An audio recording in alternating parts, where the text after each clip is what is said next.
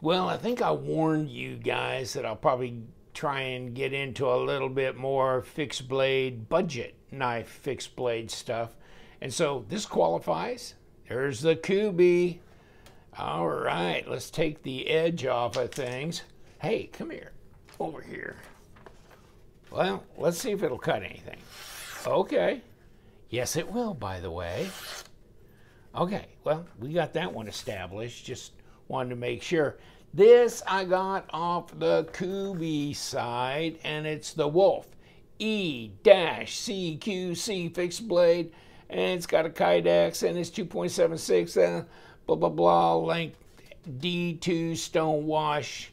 Yes, it is. And this will kind of give you the overall stuff. Seven inches overall, uh, four millimeter, know, and that's the Kubey KU320B 4130, but I have a discount code, so get you know 10% off. 4130 minus $4 is going to get you in the $30 range for this little honey. And so, wow, this is oh by the way, Wolf Close Combat. Close Combat.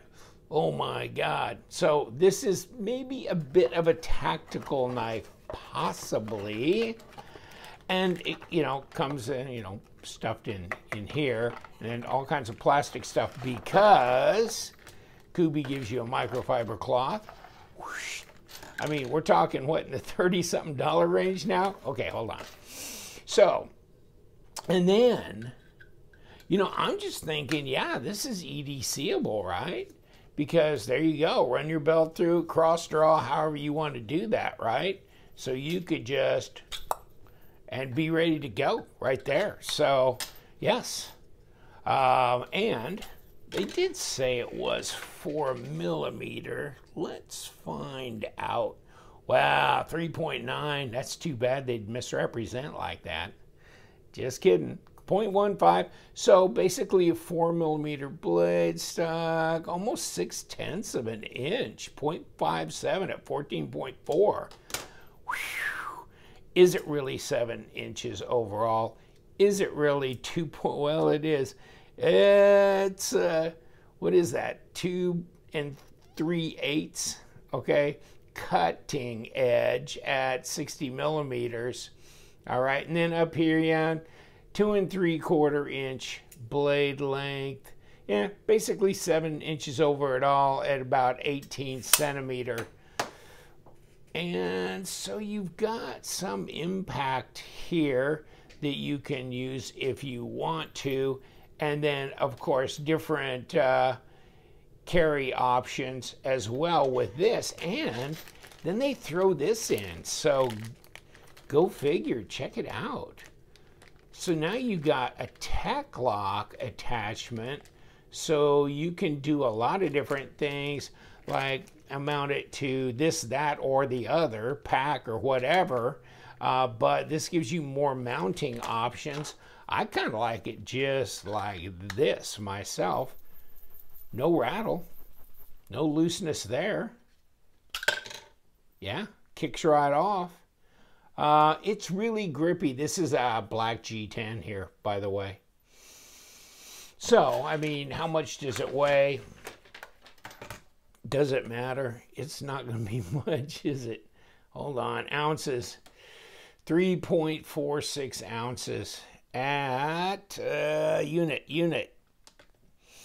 98, 98 grams. So pretty lightweight. Um, very, yeah, it's comfortable in the hand. The ergos are good. Uh, get my hands on it like this. So then you could put, you know, a lot of pressure on here. I mean, because you've got it, you got it locked onto your hand, and yeah, I mean, it is comfortable in the hand for sure. Tanto, pretty stout little blade there, pretty comfortable that way as well. So you get some gear here, uh, and it comes in this box. All right, so yeah, not bad. Well, you know what? Let's see what this is all about. If we can, if I can loosen this, I might be uh, moving both sides of that. Now this one's coming loose. Okay, let me see. Oh, that one fell out. Okay, let me see about this right here. Ah, yeah, that's coming on its own. Of course, one on one side, one on the other. How lucky can we get? Now let's see if any of this will pull out. Okay, let me see if this one will loosen up as well. If we could just take one side off. Okay, let's just do this. Okay. All right. So we did we did it kind of half-assed, but there it is. So you kind of get the point here. You could pull all this off if you wanted to. You could cord wrap it, couldn't you? That might be kind of nice. I mean, although this adds some dimension here, doesn't it? And some thickness to fill the hand and everything for grip purposes. On the other hand, you know, a cord wrap is really nice and maybe keeps it a little thinner, more stealth, etc. So, and you can run it back on out for a lanyard purpose as well if you want when you wrap it. But so you can do it however you want, but it's just one solid piece of D2.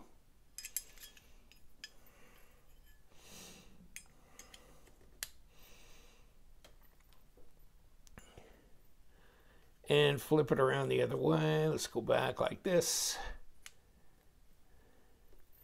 So, and not not difficult, just, just the fact that we had a screw come out of each side.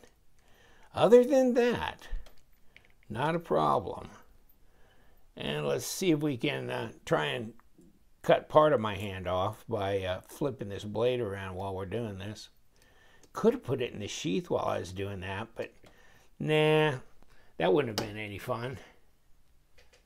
So what do you think? We've got the uh, Wolf Close Combat design, and it's by Kubey. It's got a nice little thumb ramp with jimping here. Uh, good ergos, lightweight, very EDCable, different carry options. Uh, so it may be something that you would like because I'm always looking for the cross draw stuff, right? I'm always looking for the stuff that you can right, have right up along your belt line so it's really not noticeable, yet it's a full fixed blade, you know? So this might be uh, this might be a thinker, especially in this price range. D2 steel, uh, very you know, uh, well it's black, so it's not reflective or anything. Interesting, definitely interesting. From Kubey, collaborative design. I'm gonna let you go. Yes, we do love them knives, so you guys stay sharp.